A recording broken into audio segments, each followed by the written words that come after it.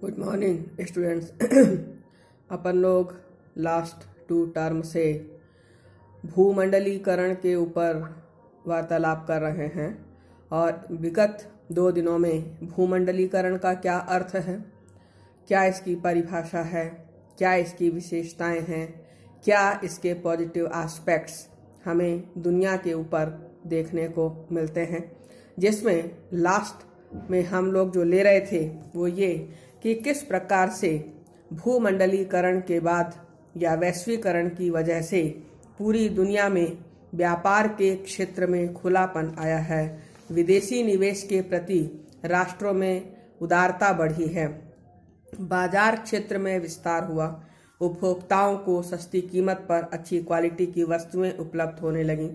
सामाजिक व राजनीतिक समस्याओं और मुद्दों ने विश्वव्यापी स्वरूप धारण कर लिया। अंतर्राष्ट्रीय आर्थिक प्रतिस्पर्धा के कारण उत्पादन में वृद्धि भी हुई।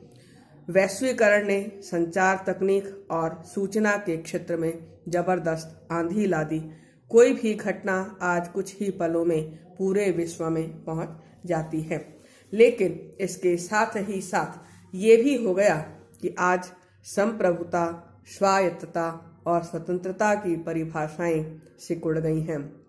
संचार क्रांति ने और भूमंडलीकरण ने विभिन्न जो जातीयताएँ हैं, नस्ल हैं, उनकी जो अस्मिता है, उसको एक नए तरीके की गतिशीलता और सतर्कता प्रदान की है। नेक्स्ट जो हम लोग लेने जा रहे हैं, वो ये है कि वैश्वीकरण से पूरी दुनिया को क्या नुकसान झेलना पड़ रहा है या इसको हम ये कहें कि वैश्वीकरण के क्या निगेटिव एस्पेक्ट्स हमको देखने को मिल रहे हैं। तो इसमें हम इसकी शुरुआत कर रहे हैं।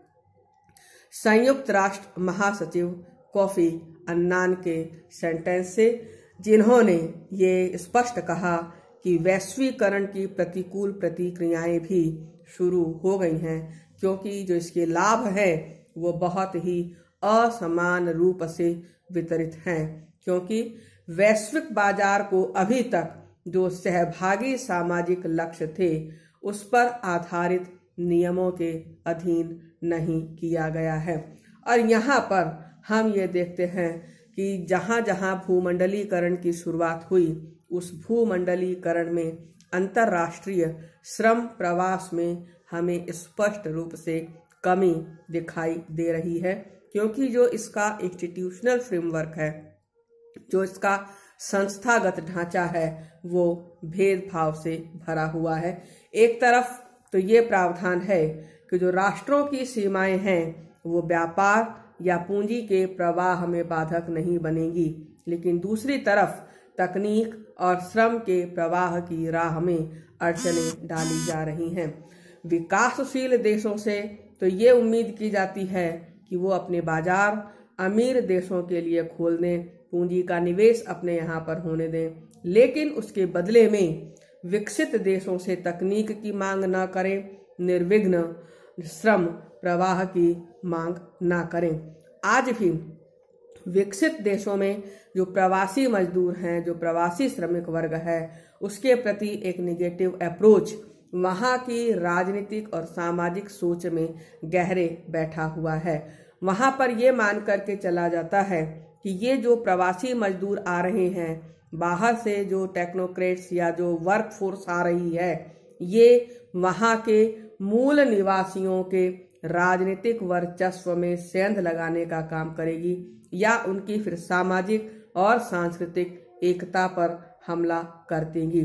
इसके अलावा ये भी मान्यता है कि ये नस्लवाद की राजनीति करने वालों को एक झुंझुने के रूप में उन्हें ये मौका मिल गया है, एक हथियार के रूप में मिल गया है कि ये प्रवासी मूल निवासियों से रोज़गार का अवसर छीन लेंगे या उनके लिए उनकी सरकारों के द्वारा जो कल्याणकारी कार्य किया जाता है, जो वेलफेयर स्कीम्स बनाई जा रही हैं, ये प्रवासी उसमें हिस्सेदारी की मांग करेंगे।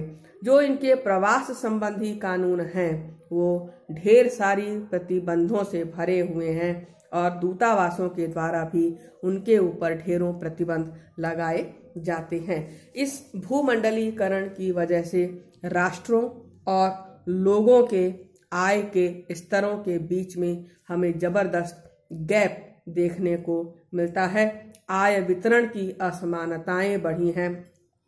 संगठित क्षेत्र में रोज़गार के जो अवसर है, वो कम हुए हैं और इसीलिए ज़्यादातर श्रमिक अब असंगठित क्षेत्रों में काम करने के लिए मजबूर हो गए हैं, जहाँ उत्पादकता भी कम है, मजदूरी का स्तर भी कम है, श्रम भी और उत्पादन की किस्म भी घटिया है। भूमंडलीकरण ने रीजनलिज्म को भी बढ़ावा दिया है। वो इस प्रकार से कि वैश्वीकरण के इस दौर में कुछ ही लोगों को, प्रांतों को, राष्ट्रों को लाभ के अवसर मिले हैं, जहाँ पर इन अमीर एवं विकसित देशों के द्वारा वहाँ अपना इन्वेस्ट किया गया, वहाँ पर लोगों को आने का मौका मिला और वही एरियाज़ फ्लोरिश भी हुए हैं, आगे भी बढ़े हैं। दूसरी तरफ़, जो संपत्तिशाली तबका था, जो उच्च शिक्षित पेशेवर था, प्रबंधन तकनीक का ज्ञाता था और मुनाफे के लिए जो जगह जगह पहुँच सकने में सक्षम है, उनको ही आगे बढ़ने का मौका मिला है। जबकि दूसरी तरफ़, जो छोटे मोटे काम करने वाले लोग हैं, जो जोखिम नहीं उठा सकते हैं या किराए की तकनीक अपना रहे हैं, उन्हें इसमें ज़बरदस्त रूप में नुकसान देखने को मिलता है। भूमंडलीकरण के इस दौर में जीतने वाले जो राज्य हैं उसमें हम संयुक्त राज्य अमेरिका को लेते हैं यूएस वेस्टर्न यूरोप को लेते हैं जापान को लेते हैं, पूर्व एशिया को लेते हैं, दक्षिण पूर्व एशिया को लेते हैं और जो पिछड़ने वाले जो मुल्क हैं, उनको हम, उनमें हम लैटिन अमेरिका, अफ्रीका, पश्चिम एशिया, पूर्व एशिया, दक्षिण एशिया इनको शामिल करते हैं। इस वैश्वीकरण के युग में जब विश्व व्यापार संगठन जैसी संस्थाओं का गठन हुआ तो उनकी जो उनका जो डोमेन है, उनका जो अधिकार क्षेत्र है, उसमें वो मामले भी आ गए हैं जो संबंधित राष्ट्रों की आर्थिक गतिविधियों को, सामाजिक संबंधों को निर्धारित करते हैं, प्रभावित करते हैं, जो पूरी तरह संप्रभु राष्ट्रों के अधिकार क्षेत्र में ही आते हैं। इसे भूमंडलीकरण का नाम दिया गया जिसका उद्देश्य सदस्य राष्ट्रों की संप्रभुता का हनन करना, उनके अधिकारों को सीमित करना, उनकी आर्थिक गतिविधियों, उनकी सामाजिक संबंधों, उनकी सामाजिक समरसताओं को प्रतिबंधित करने का, निर्धारित करने का कार्य इस डब्ल्यू जैसी संस्था के द्वारा किया जाने लगा। इसके अलावा जो सबसे बड़ा ड्रॉबैक हमें देखने को मिल रहा है वो ये कि भूमंडलीकरण की व्यवस्था में जो स्वतंत्र व्यापारिक उद्यम है, उनका गला घोटा जा रहा है। हम विकासशील देशों को यदि एक तरफ़ रख दें तो जो स्वयं विकसित देश हैं, उन विकसित देशों में भी जो स्थानीय व्यापारी हैं, उन स्थानीय व्यापारिक हितों के समक्ष भी ज़बरदस्त संकट पैदा हो गया है। और उनके पास इन बहुराष्ट्रीय निगमों के महत्वहीन पिछलग्गू के रूप में काम करने के सिवाय और कोई विकल्प नहीं बचा है। इस पे हम वॉलमार्ट का उदाहरण ले सकते हैं, हम वी मार्ट का उदाहरण ले सकते हैं कि कैसे इनके द्वारा पूरी दुनिया में व्यापारिक गतिविधियों को, आर्थिक गतिविधियों को प्रभावित किया जा रहा है। इसके अलावा हमें कुछ और निगेटिव इम्पैक्ट्स इस ग्लोबलाइजेशन के ओवरऑल वर्ल्ड पर देखने को मिल रहे हैं। उसमें सबसे प्रमुख है, वो ये है कि वैश्वीकरण, बात तो कर रहा था कि ये प्रजातंत्र को मज़बूत करेगा, प्रजातंत्र को स्थायित्व प्रदान करेगा, लेकिन वास्तविकता ये है कि ये प्रजातंत्र के लिए विपरीत परिस्थितियाँ उत्पन्न करने का कार्य कर रहा है। प्राचीन समय में तो दूसरे देश में हस्तक्षेप करने के लिए सेना के भेजे जाने की आवश्यकता होती थी। लेकिन आज इस वैश्वीकरण के दौर में दूसरे राष्ट्र में हस्तक्षेप करने के लिए सेना को भेजने की आवश्यकता नहीं है। केवल इतना ही पर्याप्त है कि जो फाइनेंशियल फ्लो है, जो वित्तीय प्रवाह है, उसको रोक दिया जाए, व्यापार पर प्रतिबंध लगा लिया जाए या अनेक प्रकार से दूसरे देश में जीविका उपार्जन को प्रभावित करने की कोशिश की जाए। नेक्स्ट जो हमें इसका निगेटिव इम्पैक्ट देखने को मिल रहा है, वो ये कि जो उसकी इंडस्ट्रियल प्रोसेस थी, जो इंडस्ट्रियल ग्रोथ थी, जो औद्योगिक प्रक्रिया, औद्योगिक विकास था डेवलपिंग कंट्रीज़ का, उसके ऊपर हमें ज़बरदस्त प्रभाव देखने को मिल रहा है। और वो ये कि विदेशी वस्तुओं के द्वारा, निर्मित वस्तुओं की गुणवत्ता के समक्ष ये विकासशील राष्ट्र उनसे प्रतिस्पर्धा करने में पीछे रह जाएँगे। रिज़ल्ट इसका जो होगा, वो ये होगा कि उद्योग धंधे बंद होने की स्थिति में आ गए हैं और आगे भी आने की इनकी संभावना है। इसी प्रकार से जो विकासशील राष्ट्र हैं, वो ये मान करके चलते हैं कि जो आधुनिक स्वचालित मशीनें हैं, उनका प्रयोग करने से कम श्रमिकों की ज़रूरत पड़ेगी। जिसका जो परिणाम निकलने, निकलेगा, वो ये है कि रोज़गार के अवसर कम हो जाएँगे, श्रमिकों में बेरोजगारी की स्थिति उत्पन्न होगी। इसी प्रकार से ये जो एमएनसीज हैं, जो विदेशी कंपनियाँ हैं, ये विकासशील राष्ट्रों की प्राकृतिक संपदा का दोहन करती हैं, जिसके परिणाम स्वरूप वहाँ के नागरिकों का सामाजिक और आर्थिक शोषण किया जाता है। इसी प्रकार से ये देश की आत्मनिर्भरता की सेल्फ सफिशियंसी की सेल्फ डिपेंडेंसी की जो कंसेप्ट है, जो पोजीशन है, उसको भी प्रभावित करती है। इसी प्रकार से ये रीजनल इम्बैलेंसेस को तीव्र करती हैं, ये क्षेत्रीय असंतुलन को तीव्र करती हैं। भारत में विदेशी कंपनियों को जो ज़्यादातर जगहों पर नवीन स्वीकृतियाँ प्रदान की गईं, उनका इक्यावन प्रतिशत निवेश महाराष्ट्र, पश्चिमी बंगाल दिल्ली जैसे राज्यों में ही उद्योग स्थापित करने के लिए इम्फेसिस रहा। इससे क्षेत्रीय असंतुलन को बढ़ावा मिला। इसी प्रकार से जो देशी अर्थव्यवस्था है, जो विश्व बाज़ार के लिए चलाई जाती है, उसमें लघु उद्योग नष्ट हो जाते हैं। इसी प्रकार से जो विदेशी पूंजी है, विकासशील देशों के नागरिकों की मूलभूत आवश्यकताओं को छोड़ करके उन उत्पादों में लगती है जो व्यवसायियों के लिए अधिक लाभप्रद है। इसी प्रकार से गरीबी, बेकारी, सामाजिक असंतुलन, सामाजिक विषमता जैसी समस्याएँ अर्थव्यवस्था के निर्धारण में प्राथमिकता से हट जाती हैं और एक लक्ष्य कार्यक्रम के रूप में निर्यात स्वीकार कर लिया जाता है।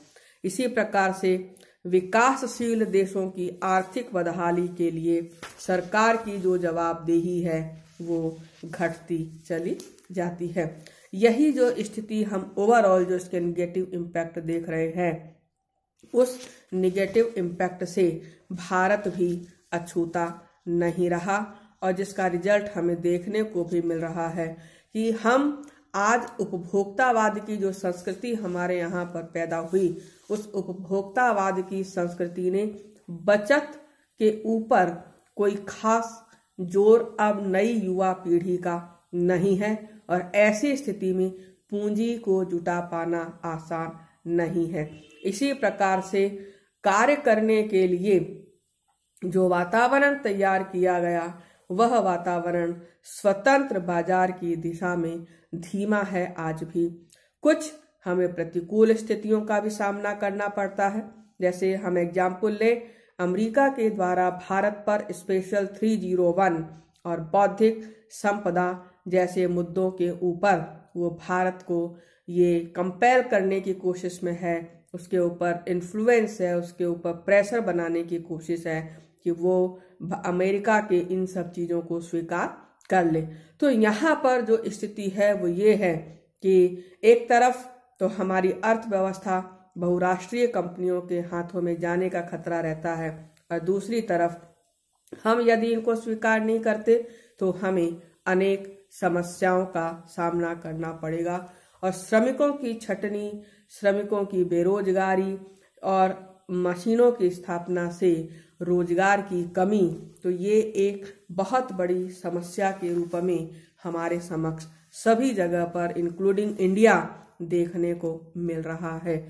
कुल मिलाकर के हम यदि इस वैश्वीकरण का रिज़ल्ट देखें, पूरी दुनिया के समक्ष क्या रहा है तो इसमें हम ये कहेंगे कि वैश्वीकरण की शुरुआत के साथ ही साथ वैश्वीकरण की प्रक्रिया के जो भयावह परिणाम हैं, वो सभी डेवलपिंग कंट्रीज़ को भी समझ में आ गए और सभी मुल्कों को समझ में आ गए, जो भले ही विकसित राष्ट्र रहे हों, और उनको ये लगने लगा कि आँख बंद करके यदि हमने वैश्वीकरण को अपनाया तो ये हमें, हमारी इकोनॉमी को औंधे मुँह गिराने का काम करेगी।